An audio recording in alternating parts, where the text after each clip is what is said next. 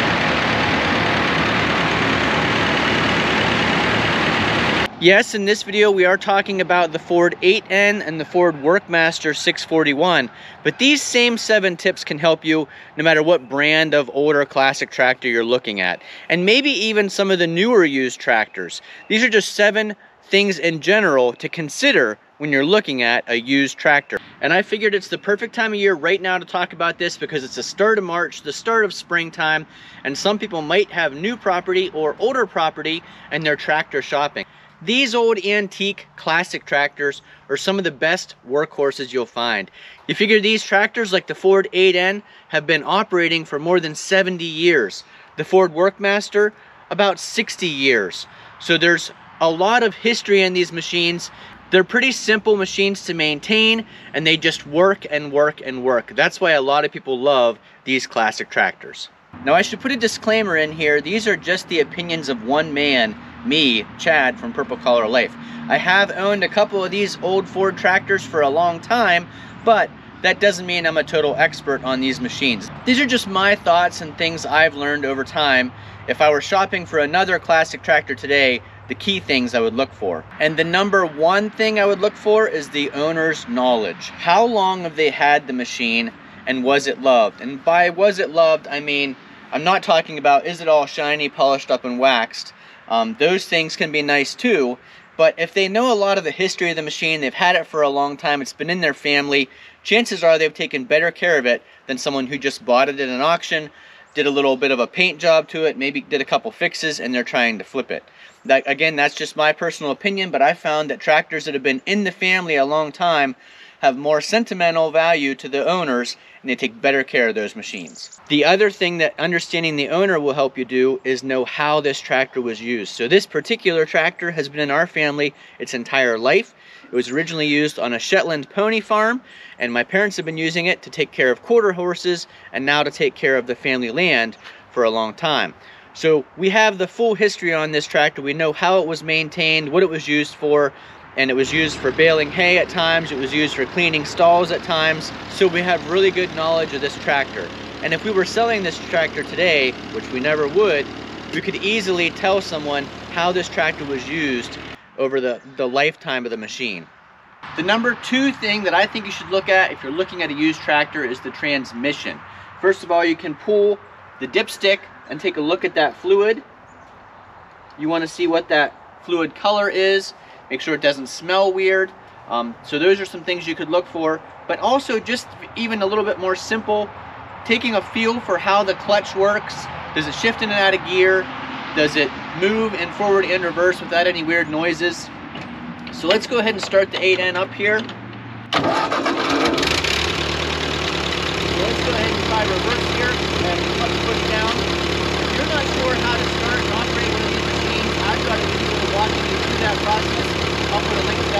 detail, but it's about this Ford 8N and how to start and operate this. So the clutch down, put in reverse, let the clutch out a little bit. No weird first. First. Back into reverse.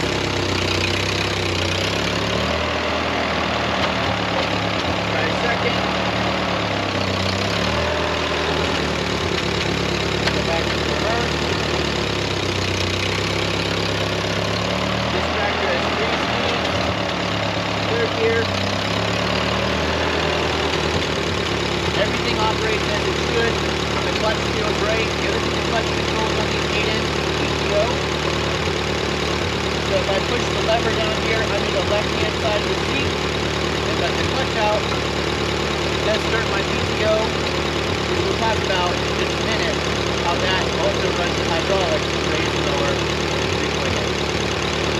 Reason I put transmission as number two on my list is because these older tractors a lot of times have to be split in half to work on the clutch or parts of the transmission.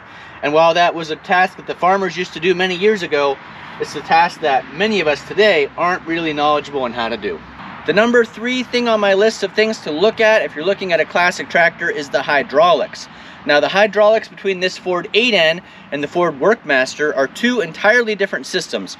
But let's talk about the 8N first. On this Ford 8N, the hydraulics are linked into the transmission. So like I showed you before, you have to have the engine running, you have to be clutch engaged and then disengaged with the PTO running for the hydraulics to run. The PTO spinning always has to happen for the three-point lift to lift.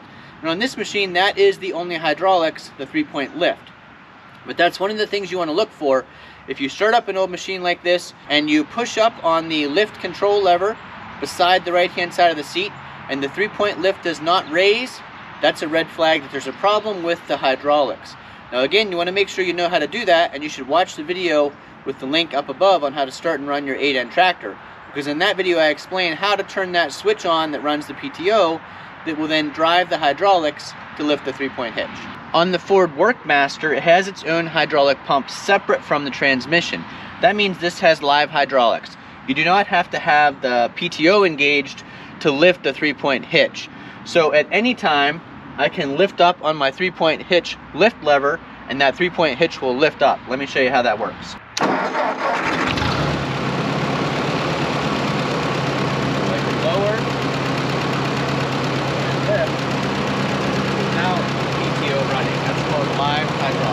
The next thing I want to talk about if you're looking at a used classic tractor is the tires. It used to be the tires were not a huge deal. You could replace them if you needed to. Well, tire prices have gone absolutely crazy. So if you've got a pair of tires where the sidewall's all rotted out and they're, they're gonna be constantly giving you a problem, then it's probably best to consider that when you're thinking about the price of that machine. You might spend more than a $1,000 on four new tires for an old tractor like this. You can see that the old Ford tractor does have four nice new tires on it.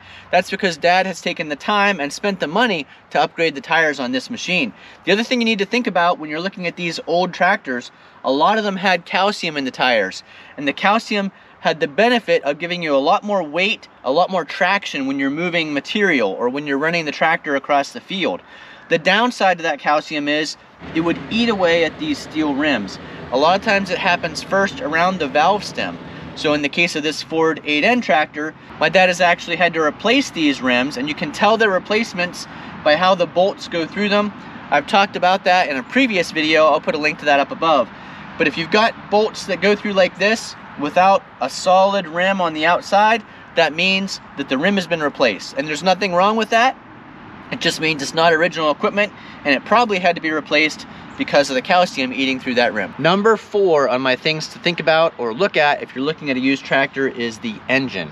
And there's a lot of things you can tell about the engine just about how it sounds and the smoke that comes out of the exhaust. You want to watch for white smoke, blue smoke, um, or any excessive smoke that smells like oil or burning too rich or anything like that. Those can all be symptoms of a problem with the engine. The other thing you might want to do is go ahead and pull out the spark plugs, see how they look, if they're all carboned up or if they look fairly like they're burnt clean. Obviously, another thing you want to do is look at the oil. What's the engine oil level? Is it within the specified range? Does it look like it's just been recently changed, which can be a red flag that maybe the oil wasn't great and they switched it out right before you looked at it? Or does it look like it's been somewhat used like this, but not overused? And just like the hydraulics are different between the Ford Workmaster tractor and the 8N, the engines are also different, but you can look at those same things.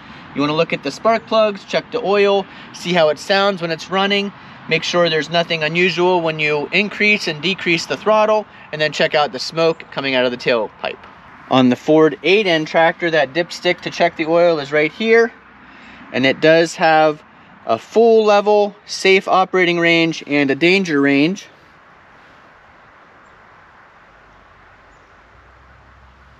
Since oil pressure is one of the keys to keeping an engine healthy, a lot of these old tractors did have an oil pressure gauge. You want to make sure that's operating within a safe range, and that's going to vary depending on the tractor. I like to see it always over 20 when I'm running. Uh, the Ford 8N is always over 20. The Ford Workmaster is a little bit higher. It's typically over 30 for oil pressure of the engine when it's running at a normal throttle.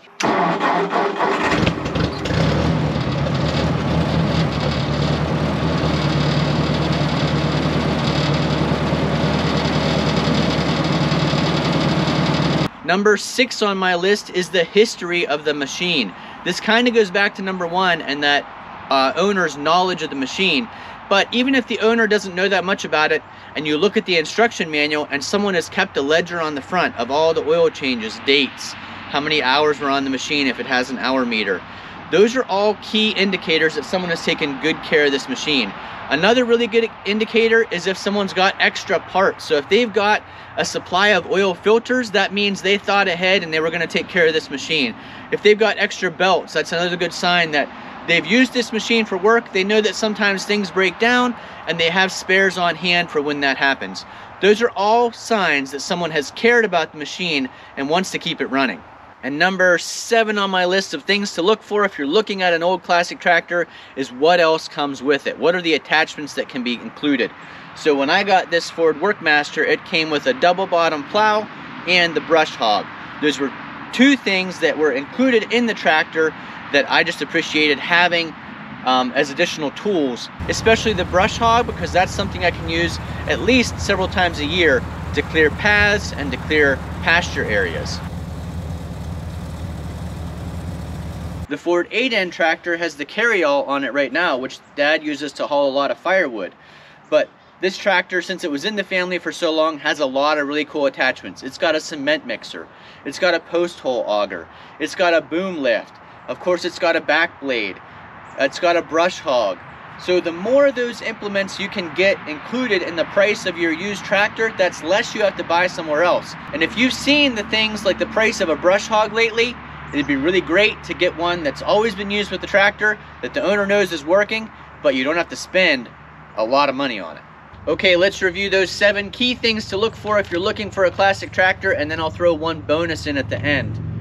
Number one, and I've got my list right here, the owner's knowledge. How was it loved? How was it used? When was it used? How often was it used? How was it stored? Is another key part of that. If it's always been stored indoors, obviously that's better than always being stored outdoors. Number two, the transmission. You want to make sure you try every single gear. No strange noises, the clutch works properly, and everything feels like it's good with the transmission. Number three is the hydraulics. The key thing on there is does the three-point hitch lift and then stay up? Now with these old tractors, the three-point will drop over time when the engine is not running. That's totally normal. But when you put it up and the, the engine is running, the three-point hitch should not drop. You're still generating that hydraulic pressure, the three-point hitch should stay in its upright position. Number four, the tires. Those are super expensive now if you have to replace them, so obviously better if you can find one that has good tires, but if it doesn't have good tires, consider that as you're adding up the numbers for the total price of that machine. Number five, the engine. Does it start easily? Does it sound good? Is there smoke? Does it have the proper oil pressure? Does the temperature stay within range if it has a temperature gauge? The 8N machine that I'm on right now does not have a temperature gauge, but the Ford Workmaster does. So you want to make sure that if you've got those gauges and they work, you can use that to help you determine the health of the engine. Number six, the history. Any maintenance records you can find. A lot of times old farmers would write those right on the uh, instruction manual for the machine. So if you've got the original instruction manual, that's a great place to look. Sometimes they kept receipts of the oil they bought, the belts they bought, any of that information you have is just further proof that the previous owner cared about the machine and took good care of it. Also extra parts in stock, those oil filters, oil belts, anything like that are good indicators. And then last thing, number seven, the additional attachments. Does it come with a brush hog? Do they have a back blade? Are there augers? Are there chains for the tires to plow snow in the wintertime? Any of that stuff adds up over time when you're buying it in addition to the machine. If they can include it in the purchase price, all the better. Okay, my bonus tip here, and this one is really important. Don't get distracted by a fresh coat of paint. In fact, in my mind, a fresh coat of paint is often a red flag that they're trying to cover something up or make it look better than it actually is. Now this tractor does look sharp. It's got a nice coat of paint on it. It cleans up really nice, but it is as mechanically sound as it is nice looking. And this paint job was not recent. This paint job is about 20 years old now. So don't be discouraged if you find a tractor that seems mechanically sound, but it doesn't have the best paint job. It's got maybe a couple dings in it. This machine has been really well taken care of and it has been loved throughout its life. The previous owner of this machine had it for a long time. It was always barn kept and it was a nice running machine for them. So if you're looking for a quality showpiece and that's it, maybe that important paint job counts to you.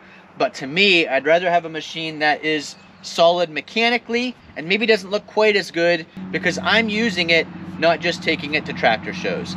Now, if you can find one that has it all, mechanically sound, beautiful paint job, could go could go to tractor shows and still work your land, that one's probably gonna cost you a pretty penny.